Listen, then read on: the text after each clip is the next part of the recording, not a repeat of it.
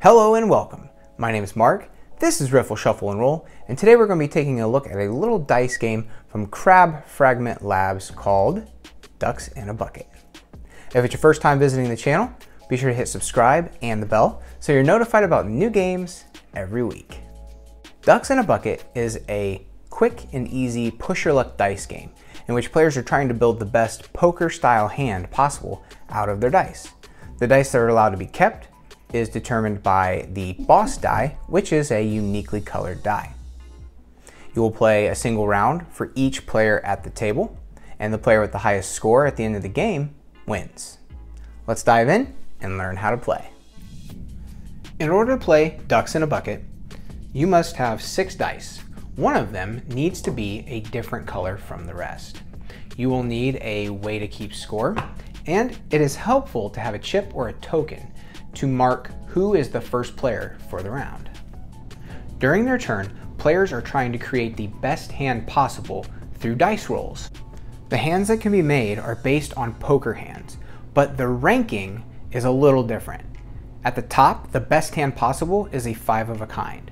Below that is a four of a kind, then a straight, then a full house, then a three of a kind, two pair, one pair, and then no pair, which just means you weren't able to build any sort of hand and only your highest ranking die counts.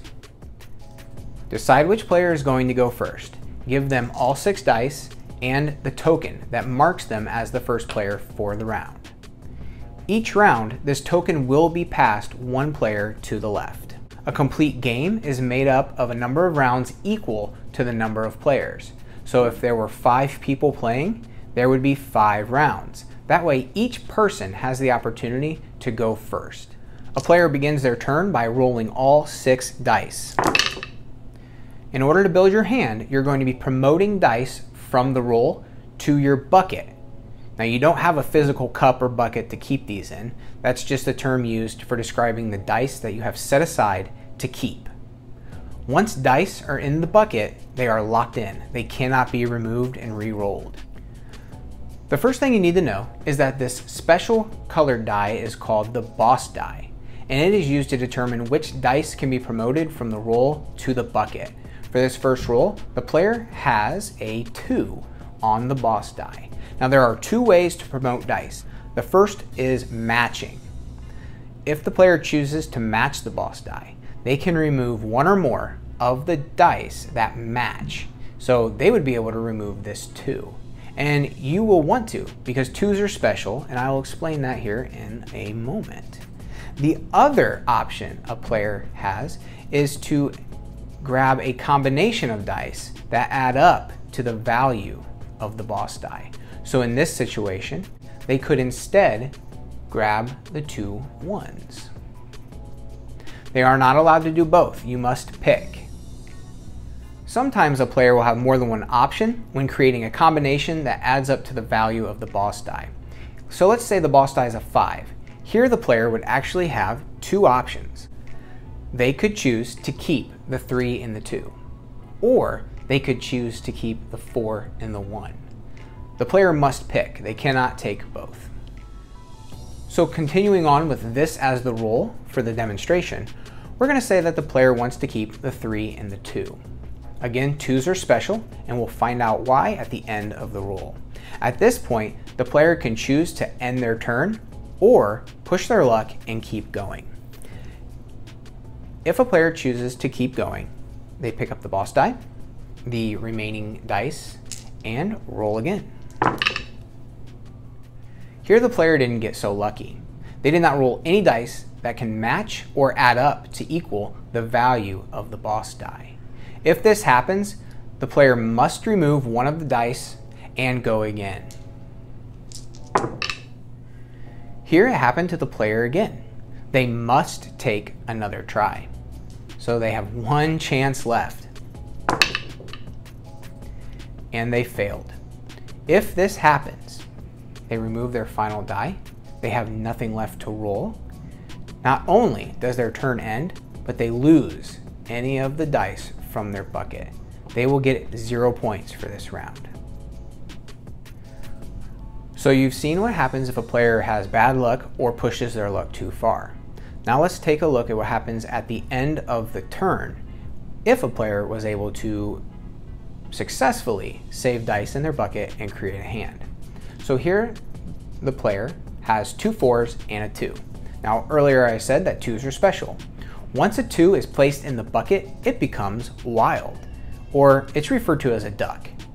So twos can become anything you need them to be at the end of your turn. In this case, the player would want it to be a four. Sometimes players will have dice placed in their bucket that are not part of the hand they built.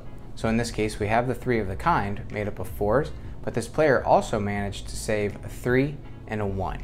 These extra dice that are not attached to the hand are called kickers, and they're important because they'll be used to break any ties at the scoring phase of the game. This player has their hand written down on the score pad. They would have three fours documented. At the end of the round, points will be distributed based on each player's hand. But for now, the only thing that goes on the score sheet is the player's roll. They would collect all the dice, pass them left, and play like that continues until the end of the round. Let's go ahead and take a look at an example of end of the round scoring. So in this example, you can see there are five players. We have May, Kent, Will, Barry, and Dwana. May ended the round with a pair of threes and a one kicker. Kent ended the round with a pair of fours and a three kicker.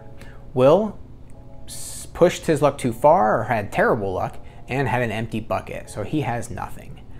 Barry rolled a pair of fours with a six and a five that are both kickers, and Dwana rolled a pair of sixes with a five kicker.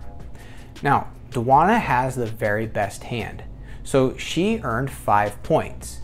The best hand for the round earns points equal to the number of players. And then it just goes down from there. Barry had the second best hand. He had a pair of fours, but he also had the six kicker, which beats Kent's pair of fours. So Barry got four points. Will gets nothing because he had an empty bucket. Kent had the next highest hand, so he earned three points. May earned two. If Will would have had a hand and it was the lowest hand, he would have earned one point. So even if you have the lowest hand, you will still earn a point for the round. Remember to play one round for each player in the game. And at the end of the final round, the player with the highest score wins. And that's how to play Ducks in a Bucket. If you're interested in more games from Crab Fragment Labs, I got the link for their website down below. There's also a really nice looking printable of the rules for Ducks in a Bucket, and I'll link to that in the description as well. Their website is full of games that are either print and play or completely free to play. And if you like the flavor of Ducks in a Bucket, then you're going to like the other games that they've created too. Well, that is it for now. Thanks for watching, and until next time, keep on playing.